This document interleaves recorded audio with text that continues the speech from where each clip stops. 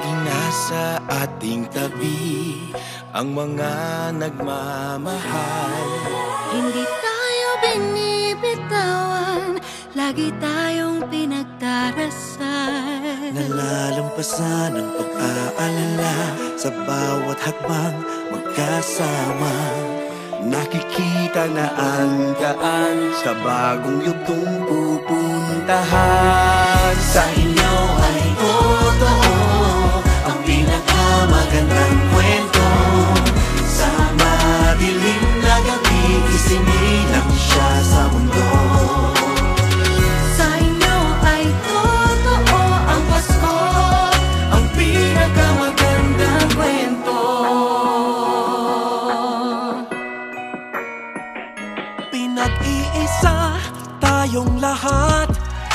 maka gandang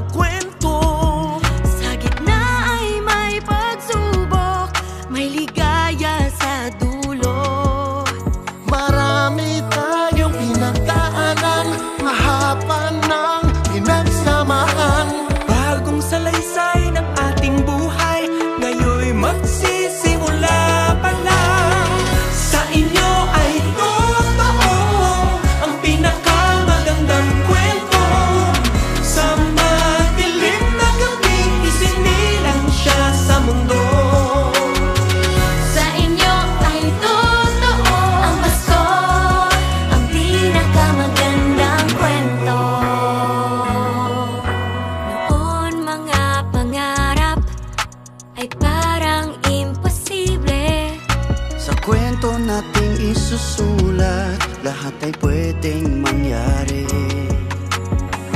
Hilingin natin ang